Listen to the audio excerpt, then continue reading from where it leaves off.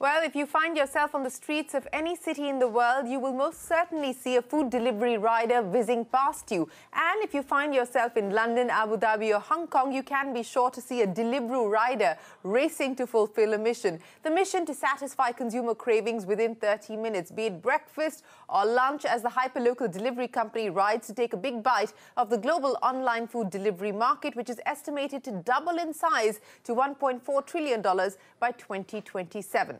Speeding with the pandemic thrust, in the last quarter of 2022 alone, Deliveroo made 75 million food and grocery deliveries across 10 countries. But the uncertainty about growth of online food delivery post the pandemic growth and many macro headwinds arriving all at once have forced Deliveroo to take a hard look at its cost base, much like most other delivery platforms.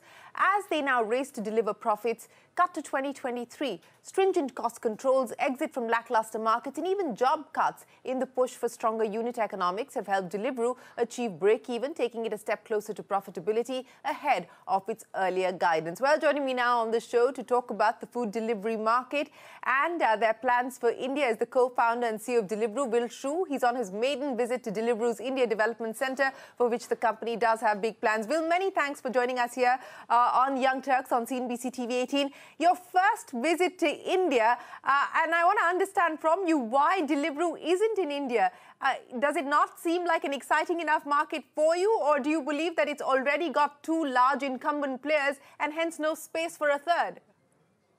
I think it's an amazing market, and I wish when I started this business 10 years ago that you know I could have gotten into India early, but you know that didn't happen. And you've got two big players, two players I respect um, hugely. And um, you know, we're focused on building our our India Development Center here, but not focused on um, actually launching the business here. Uh, yes, so no Deliveroo uh, in India, but you did talk about your development center, which I understand is your largest facility, your largest development center outside of the headquarters in London. Will take me through what the plan is as far as the development center here in India is concerned. Well, we kicked off um, about a year ago. So we hired our first people here in Feb 22. Um, the team here and the team in London have done an incredible job growing the team now to about 125 um, engineers and, and, developers. And we'll be looking to increase that um, over the course of, of 23 as well. The talent that we've come across here um, is is, is, is really tremendous. And we're also working with people that have helped build these centers uh, before in the past. So um, really, really excited about it. Well, you know, speaking of, uh, of the excitement, let's also talk about the food delivery market in general. Uh, and I want to understand from you what the big challenges are as you see the market and the landscape today. You've got inflation, which is biting into the spending power of consumers. Uh, you've got high interest rates, which is impacting businesses across the world at this point in time. And uh, companies like yours are now being forced to focus on profitability and look at free cash flow in a manner that was never done previously. And that's forcing many founders like you to review, reassess, reevaluate, and change plans. Will, how hard have the last few months been? I, I think it's, um, you know, I've been doing this 10 years, um, and, you know, you're always going to have different ups and downs um, in the business. But I think what's been happening over the last few years um, in terms of this, you know, COVID bump for a lot of tech companies, um, then following um, that um, sort of, you know, maybe maybe the growth coming from from COVID tailwinds not persisting as long as we would have thought. You then toss in, uh, you know, a very high inflation environment in the UK and Europe, um, and and and and obviously interest rates rising and and investors wanting to see um, profitability sooner than they did in the past.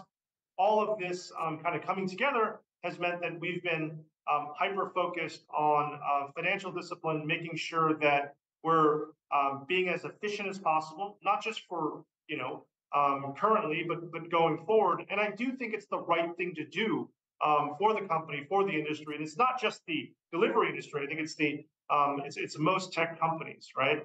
And, and so we view this as an opportunity to to to really rethink the way we're doing things, um, to, to, get leaner, um, and to generate um, cash faster than we would have thought maybe a few years ago. And we view that as an opportunity.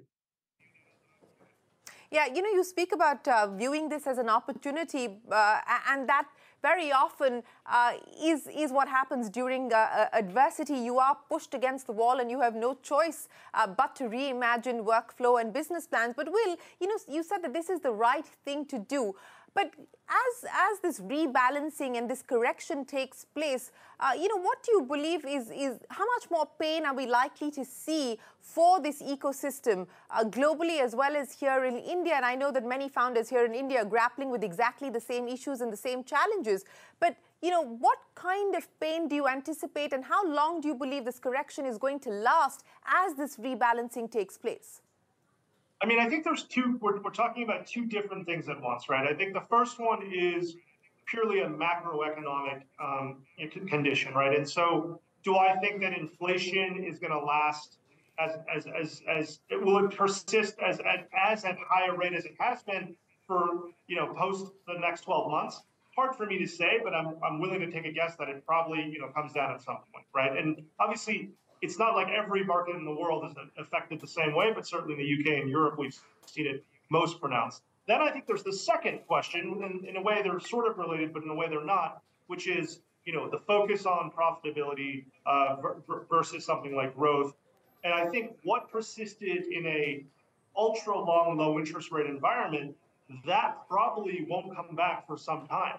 Um, I don't think that switch mm. uh, flips back. I think that investor focus will be on free cash flow generation, will be on efficiency. Um, all of the stuff that, frankly, people have been focused on since um, since the formation of capitalism, right? And so I think that that is come, that that has come back, and that will persist, in my view.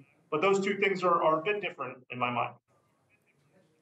Yes, uh, you know, linked but different. But Will, you know, what is that going to mean as far as individual businesses are concerned? And let's focus on your plans, for instance. I would imagine that uh, expansion will be put on hold. You're looking at exiting markets. You've already exited two uh, in 2022. Are you likely to take a hard call on markets that are not delivering for you uh, at this point in time?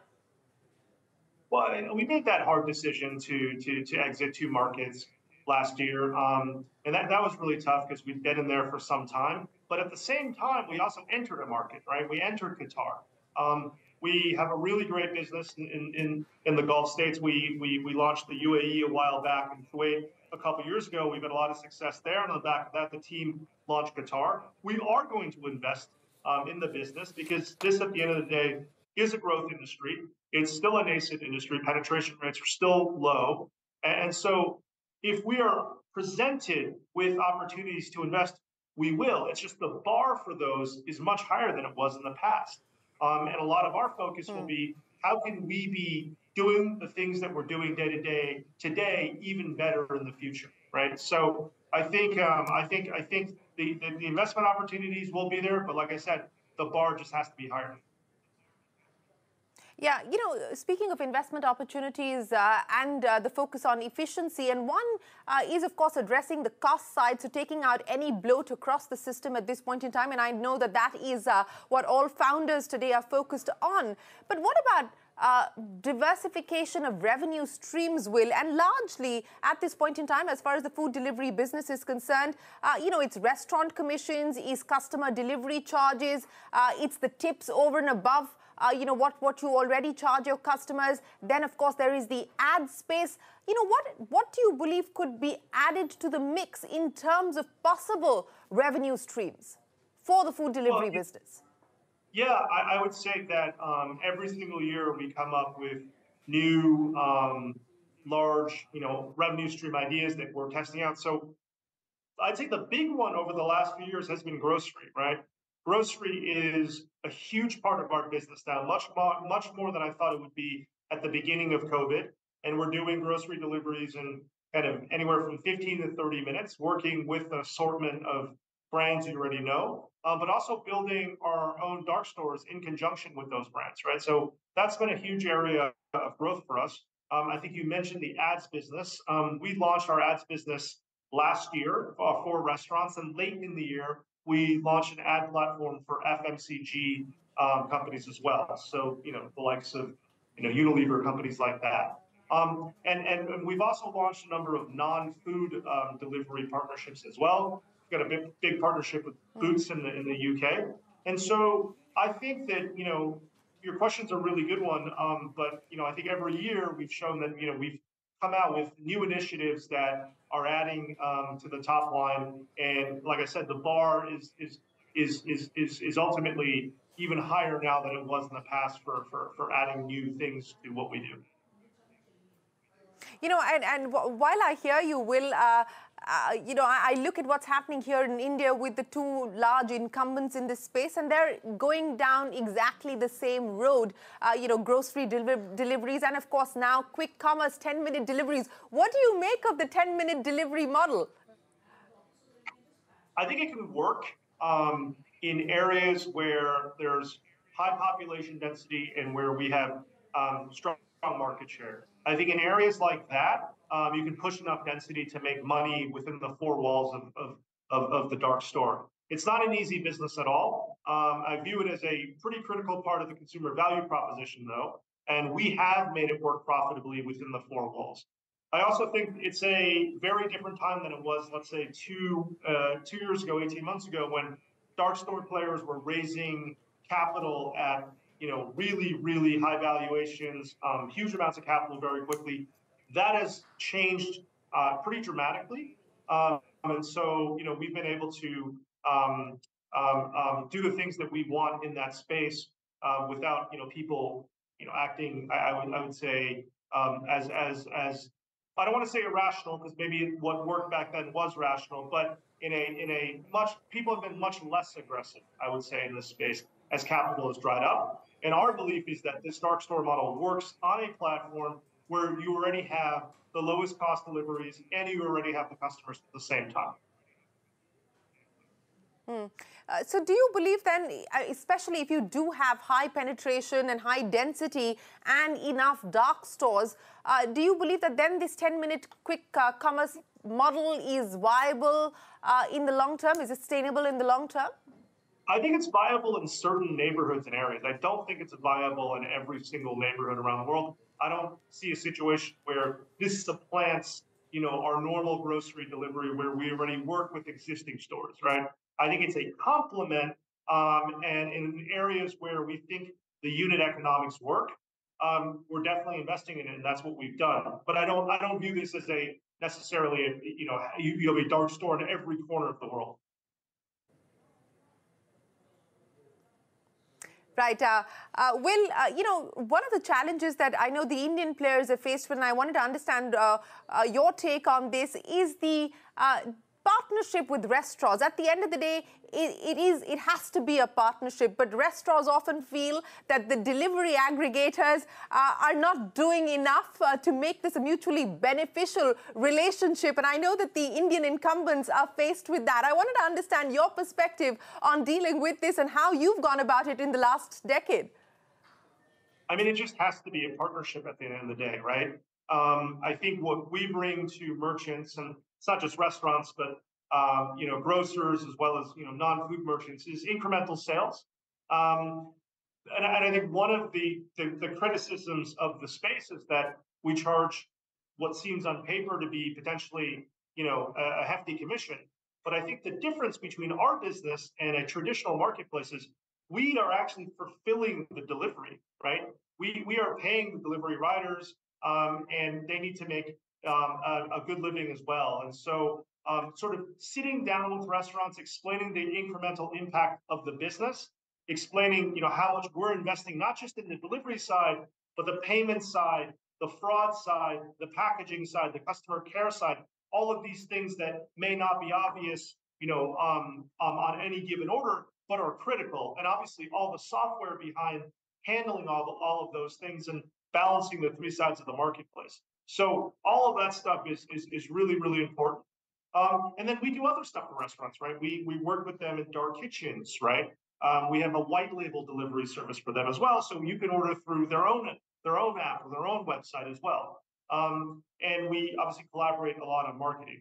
Um, but you know, you have to balance all three sides, and sometimes it takes a little bit of um, education. But at the end of the day, you're absolutely right; it has to be partnership. Well, time for us to take a break, but when we return, we continue our conversation with Will Shu, the founder of global food tech delivery company Deliveroo.